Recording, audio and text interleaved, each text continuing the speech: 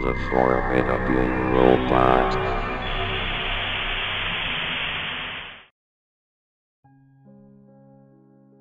I'm a senior at a high school in a small town out in a pretty isolated place. I haven't many friends, only a few close ones that hang out with me on occasion. I live in a poor family as an only child, causing my parents to fight a lot, and we are just trying to get by. I enjoy gaming, to what limited things I can afford, and have recently started an interest with computers. I was very familiar with the online website YouTube, where users can submit any videos, no matter how outrageous or creepy, as long as they aren't pornographic. One weekend, my friends were all busy.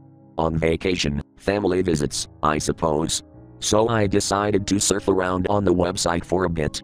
I know there are different parts of YouTube. For example, if you were looking at a comedic video prior, then all of the suggestions will be links to more funny videos. So once I got a suggestion for a Japanese SpongeBob commercial, I knew I was on the weird side of the site.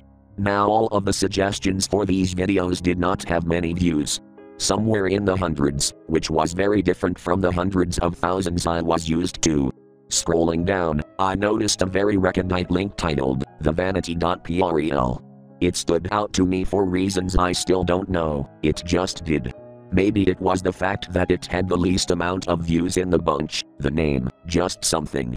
So I clicked it. And I regret I did. The beginning was horrifying. Unlike anything I had ever seen before, and I didn't know why. It was what appeared as an old style film, black and white with a CG animated woman in a dress, dancing. But that wasn't it. Her face. It was lifeless. Completely expressionless, all of her emotions had been distressingly wrested out of her. She looked almost dead. Dancing there, breathless. And it was the movements, her arms flailing, staggering, moving like no person should. Towards the end of that clip, she started to go faster, feral, out of control. And the music. Oh god, the music. It was incomparable to anything I've listened to. It sounded like the voice of an altered automated voice, inverted and looped, audio reversed and reverted. But then it got worse. An even more terrifying image of a dying face flashed the screen for a second, then faded to blackness. When it continued playing, it showed another animation of a man and a limbless corpse of a horse lying on its side, dead in the grass. The music kicks in, but the sound is too much to bear. It's what seems to be the sound of a horse's neigh, but a cry as if it was being wounded or beaten to death. The man falls to the ground right beside the horse, leg still twitching. The rest of his body was immobile, while spasms in his leg were still apparent. I couldn't get a look at his face, which was undoubtedly filled with excruciating pain and anguish.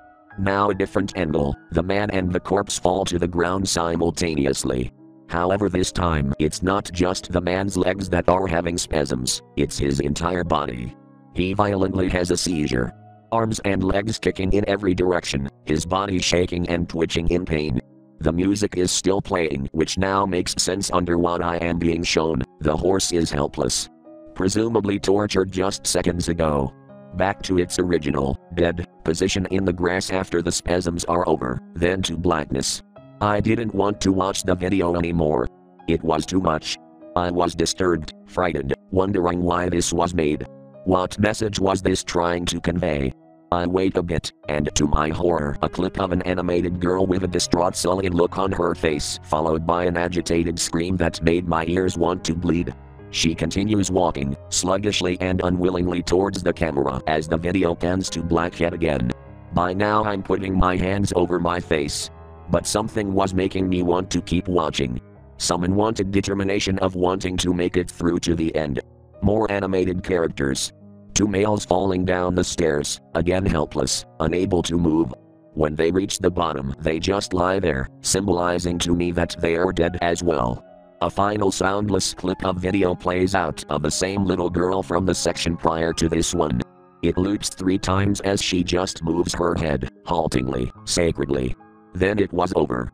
I had been a fan of horror tales, movies, even stories on the internet. But that, that was different from all of them. It was just awful to watch. Painful almost, like all hope had been lacerated out of you. Trying to piece together and decipher exactly what I just watched was impossible.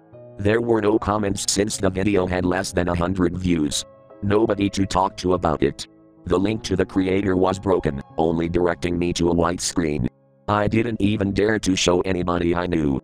I already kept things to myself, but this time it was because I did not want anyone else to witness the horror that I saw.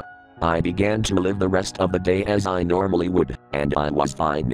Until nightfall. As soon as I tried to go to sleep, the nightmares started up.